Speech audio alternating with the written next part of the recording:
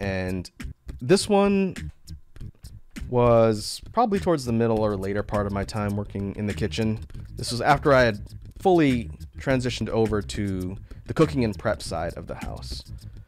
And so I was getting ready for a shift on the weekend. Was an eight hour middle of the day to dinner shift, something like a 12 to 8 shift in the kitchen. And I was working on a bunch of really important stuff for Earth School. And so I, I basically went from a session that I was working at for upcoming test straight to my job. And as a result, I didn't get a chance to eat lunch. So I showed up to my shift having not eaten lunch and, and jumped straight into whatever it is I needed to do for the day. Now, this particular day, I was showing up after lunch ish, time wise. So I was basically helping with prep stuff for the evening, for dinner. And so I show up, again, having not eaten lunch that day. And my boss says, All right, um, we need you to help out the grill folks for prep. And they said, Okay, go go do burger sets. I said, Okay, I can I can go do that. And to kind of explain what that is, this is for like a regular hamburger type grill joint, right? They would do made to order fresh grilled burgers with different toppings and all sorts of fun stuff. But their prep stuff was all of the toppings that go on the burgers, the standard stuff. It was a sheet of lettuce, sliced tomato, and onion. But they would do it in big batches in these big hotel pans by the dozens. So you have, you know, lettuce, tomato, onions in stacks, filling up an entire pan so the grill people can just grab the fully assembled set, put it on burgers, and serve it and not have to chop lettuce or slice onions or whatnot. It's all prepped and ready to go. So my boss said, okay, just go do that. Go help them put all the sets together for dinner. So I said, all right, I can do that. Having done it before. So I went back to go help the the cooks. They said, okay, what do you need me to do for, for burger prep? And I said, uh, we need you to do tomatoes. So I said, okay, I'll, go grab the tomato slicer. Now, for those of you that are watching this that maybe haven't worked in a kitchen, the particular type of tomato slicer I'm talking about is, I think it's, it probably technically has a different term, but it's a horizontal tomato slicer. It's not the type of ones where you have a tomato and like the wire things that you pull down and press onto it from above and it slices it vertically. The one we used in the kitchen was a horizontal one. So it looked like a metal pl- platform with feet that you stick on the table. And on the horizontal platform, you stick the, the whole tomato upright. And then there's a little track thing that looks like a hand almost that pushes it forward horizontally along the platform and pushes it through a horizontal set of blades. I think it was four or five blades parallel and perpendicular to the tomato. You're basically pushing it along the track through the blades, and it comes out whole in again freestanding, but it's completely sliced. And so you push it through, and then it comes out sliced, and then you can just separate it and distribute it into whatever. Anyway, I said okay, just do tomato sliced tomatoes for the burger sets. And so I did that. I started working on that for a little while. And I'd used the thing before. Again, it's not rocket science but the particular tomato slicer I was using had been used for a while and the blades were starting to get a little dull.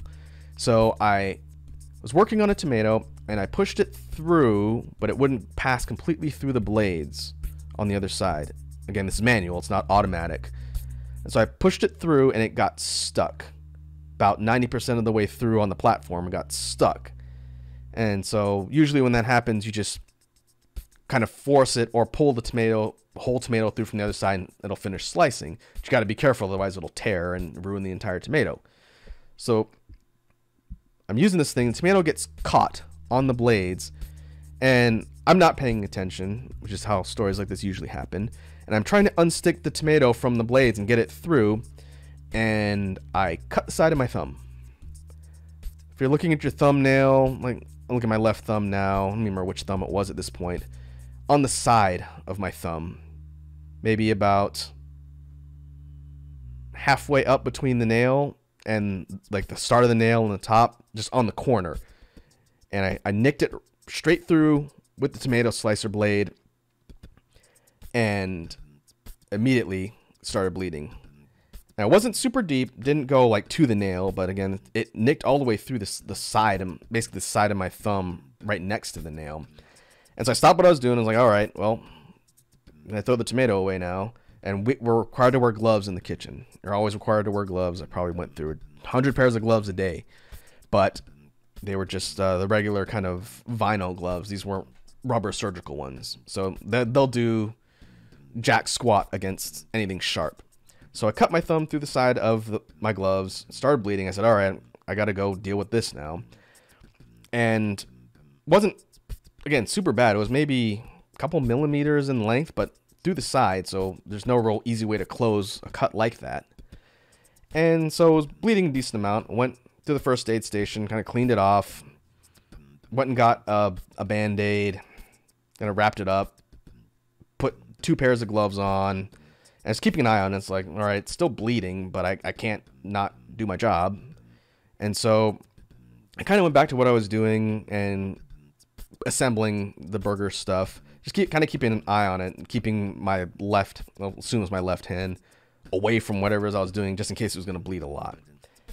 And after about 20 minutes or so, I noticed it still hadn't stopped bleeding. And it was getting to the point where I was going to need to change my gloves again and actually get a, a different band-aid because it was a bandage because it was bleeding a decent amount. I said, I, I think I better go actually deal with this. And uh, this is bleeding a lot. Uh, so I told my boss, I'm going to go uh, take five in the break room.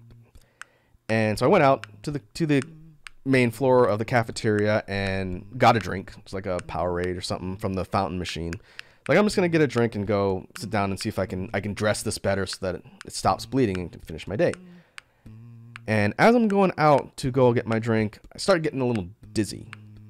And again, this thing's been bleeding a decent amount up till now, and I hadn't eaten anything all day. I had other than some water. I don't think there's anything in my system at all. So I started getting a little dizzy when I was out there getting a drink. So I said, okay, I definitely should probably go to the break room and sit down because, you know, I'm having trouble seeing. It's getting dizzy. I walk back through the kitchen, and I'm make, walking down this hallway to the break room where we are able to take our breaks and our lunches and whatnot. And I got so dizzy that I lost my balance and fell face first on the ground, which was a completely concrete paved floor. And I landed on my face. And because I was carrying a drink, I couldn't put my arms or hands out to break my fall. So I literally fell like on my chin, face first, and hit the ground. Drink went everywhere, sh- shot down the hall. Uh, I didn't lose consciousness, but I was still super dizzy, and I managed to pick myself up, having fallen. It's like, okay, it's definitely not good. And so I, I managed to crawl to the break room, which was just feet away from where I fell. And we had a couch just inside there where people could just like chill and, you know, talk on their phones or whatnot. And so I'm sitting on the couch, waiting for the room to stop spinning and I, I still don't really know what happened. Like my, I definitely hit my chin on the ground, and it you know it feels numb, but you know I can't see what's going on. I'm just sitting here trying to keep the room from spinning.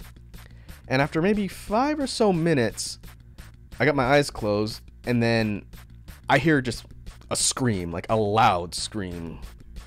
And I wake up and look over to the side of the doorway, which is where the couch was sitting. And my coworker Eileen had walked in, and obviously she looked at me and screamed, and she'd run out by the time I looked over to see what was going on.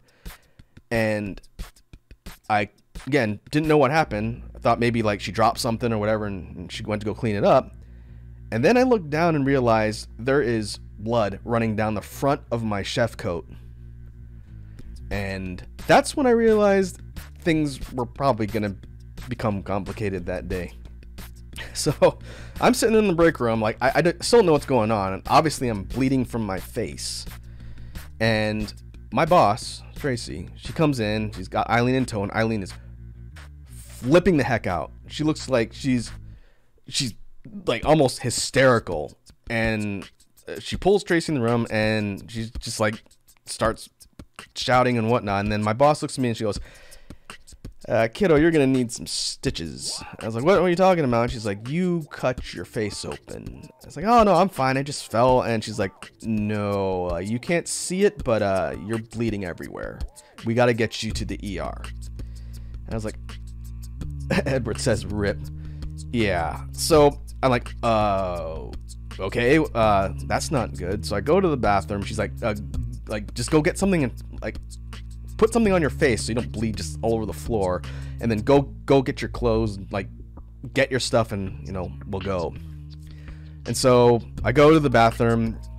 I look in the mirror, and yeah, it's not like a, a gash, like a big thing across my entire face, but under my chin, there is a very visible cut, and it is bleeding a decent amount. So, most likely, what happened was I fell I broke my fall with my chin and cut it open on the concrete. And made my way over to the break room, started bleeding down the front of my coat, and then my very erratic coworker, of course it had to be her of all people that would find me. She walks in the door and just sees me lying there bleeding like down my face. And she must have thought like someone tried to murder me or something. And so I, I get some paper towels and kind of trying to stop the bleeding, put pressure on it. I go, I change out of my, my chef clothes, my, my uniform that we had to wear. And we go, we walk up, and where we were on the campus had a health building, basically a medical building that people could walk in. Like walk in clinic type place on the campus where our kitchen was located. She said, okay, we need to walk down there and get you looked at immediately to see how bad that cut is. And so we, we go walk down. It's it's in the afternoon on a Saturday. So it's maybe about, eh, I'd say 2 o'clock. And there are people walking around.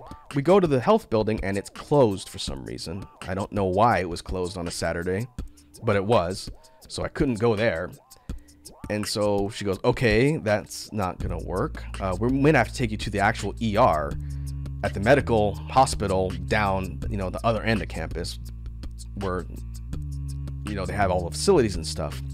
And so we're sitting there outside the health building. I'm, I'm trying to keep the bleeding from getting bad as we're sitting there trying to figure out what to do. And then my boss gets a call on her cell phone.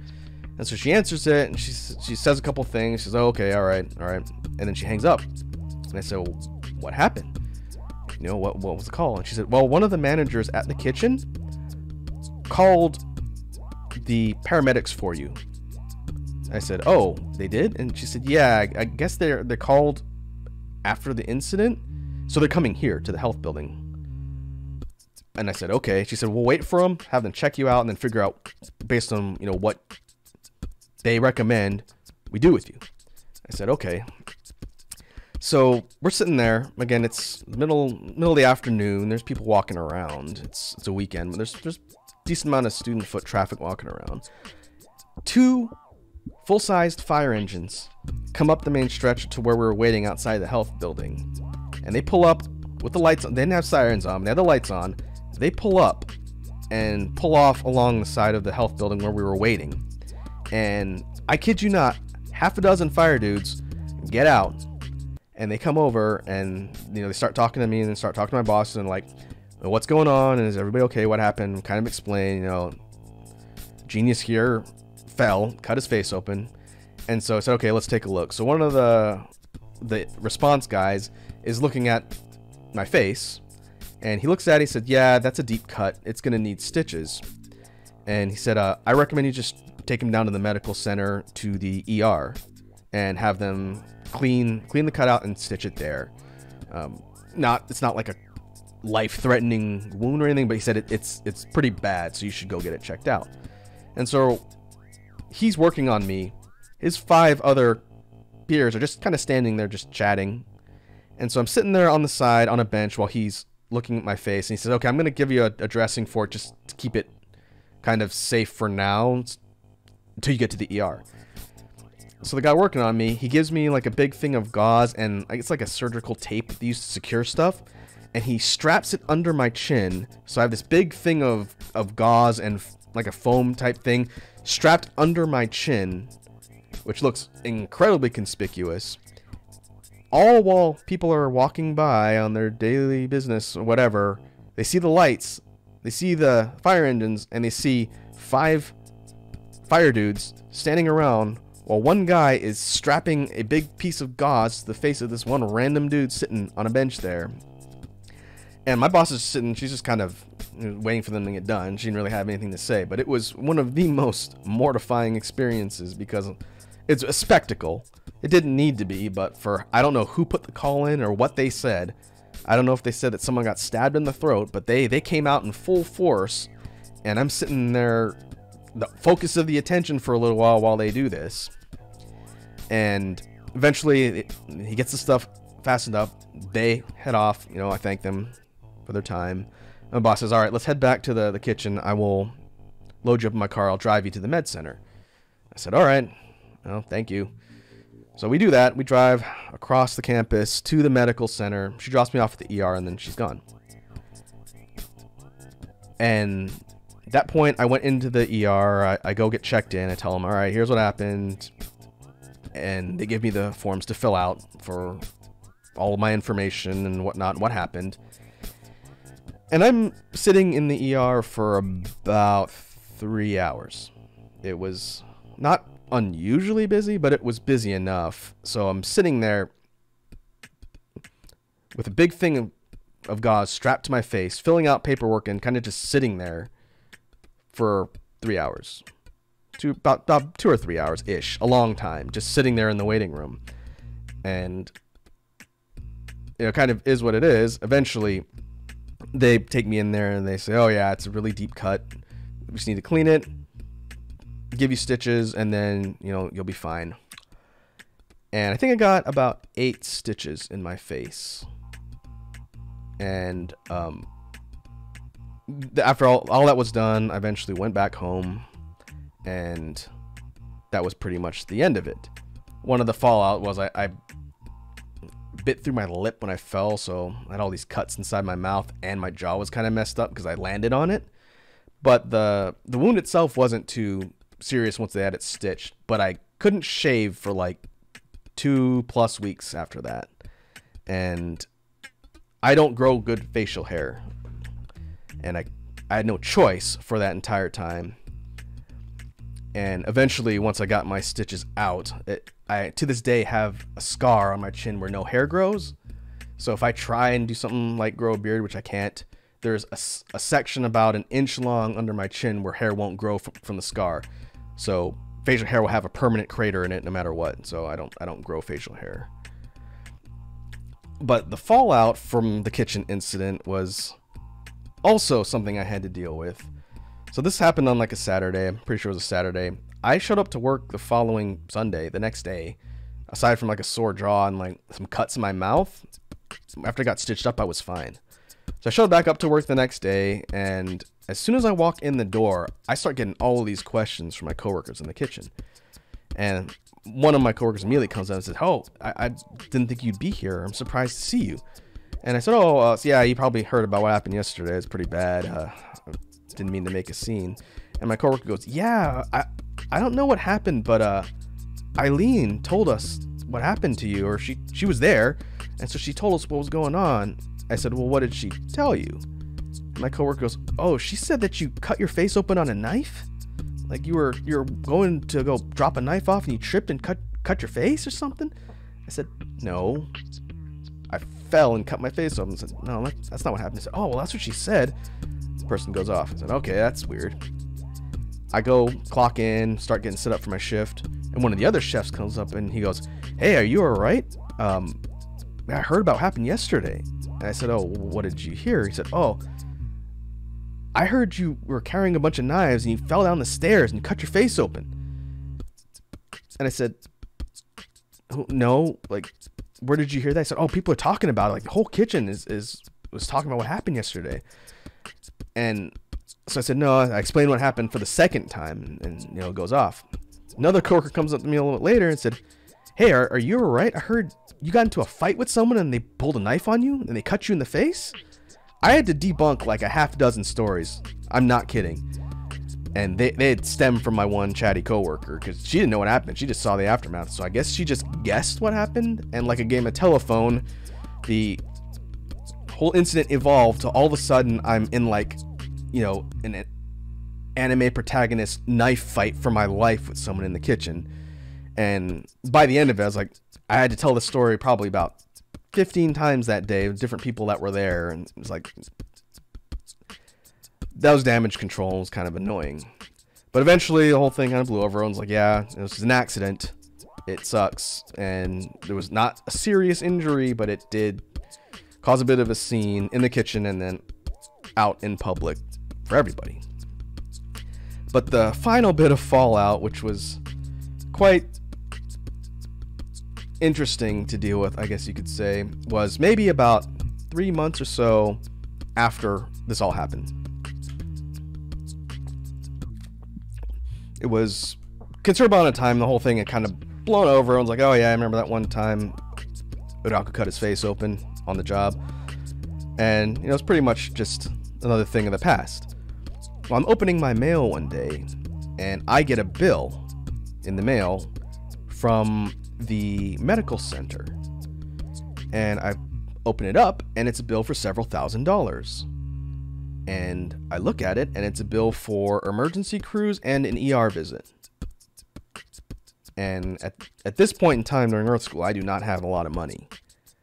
And I look at this and I double take and look at it and say, why did they send me a bill? And so I took that with me and Edward says, Bro, are you okay? I heard you had a dream where Freddy Krueger cut you in the face. I think the knife fight story from that whole thing was my my mo- my favorite one because it's it's the most outlandish. Like, yeah, there was a knife fight, but the cops didn't get called and and whatnot. But yeah, it, it, it was pretty wild how badly the rumor evolved to the point where I had to debunk like a dozen stories. So I'm looking at this bill. I'm looking at this bill, and obviously it's for the stuff that happened that day. And my immediate thought was, don't I have workman's comp if I get injured on the job? Because I was on the job when this happened. And says that that's really weird. So I take the, the bill with me into the office the next time I'm there, and I'm asking my boss, I said, hey, they, they billed me for stuff that happened when I had to go to the ER. And I asked my boss, I said, aren't I covered by a work, work person's compensation if I get injured on the job? And she goes, yeah, yeah, you should be. It's weird that they billed you. I said, uh, that's, I, I don't know why they're doing that. Um, go to our payroll offices where all the paychecks and stuff come from and ask them directly why why they're sending you a bill. I said, okay, that's that's kind of weird. So I I just set aside time to actually go to our personnel and payroll offices in a different part of the area. Wasn't in our kitchen building. I had to go to essentially a separate part of the, the campus to go and track down a lead on what was going on. So I go there and I start talking to folks. I'm like, hey, look, I, ha- I have a question on a, a, bill I received, and it's related to a work incident. I just need to figure out who to talk to. And they say, okay, you know, go here, talk to this person, this person. Eventually, after navigating around personnel offices for a bit, I figure out who I got to talk to. And I go in and I explain my, introduce myself, say, hey, I'm Rakku. I was working on the job. I got injured. There was a emergency response crew that came out. I had to go to the ER and all the stuff, explain what happened. I said, I'm trying to figure out why I got a bill. And so the person in payroll I was talking to takes the bill and they look at it and they start plugging stuff into the system. They say, You said you're an employee here of the, the, the kitchen up, you know, in, in, this area? I said, Yeah, yeah, yeah. I was on, on the job and I, I got injured there. And they said, Well, on your ER intake paperwork. They couldn't read your handwriting, so they didn't realize you were an employee. They thought you were just a random person that had to go to the ER. So that's why they billed you and not the actual organization for the work person's compensation. If they could read your handwriting, they would have been able to find you in the personnel system and then this wouldn't have happened. And I said, Oh, can we get that fixed now? And they said, oh yeah, we'll get your information, you know, give us your ID so we can verify who you are, get it plugged in, and then we'll get this thing paid and, and cleared. So not only was there the social aspect of the whole incident that I had to deal with, But I almost got stuck with the financial aspect of the incident, which I would have had to deal with. And that came down to handwriting, apparently. And I told that story to my parents on Homeworld, and they gave me no end of, of crap for it because I have bad handwriting, I know. In my defense, after suffering a head wound and sitting in an ER, I will say that my penmanship wasn't the most pressing thing on my mind as I was sitting there bleeding from my face. But it is a good lesson learned as far as make sure you legibly fill out forms like that in the case of workers' compensation so that you don't get stuck with the bill and have to deal with that whole aspect. But at that point, you know, weeks after the incident happened, it was really more of, uh, an insult to injury type thing. But that was the end of it. Once once all that got cleared up, then the bill was gone, and I didn't have to deal with it, and I managed to avoid any more hospital related incidents for the rest of my time working in the kitchen. But that was easily the most public of stories that happened when I was there.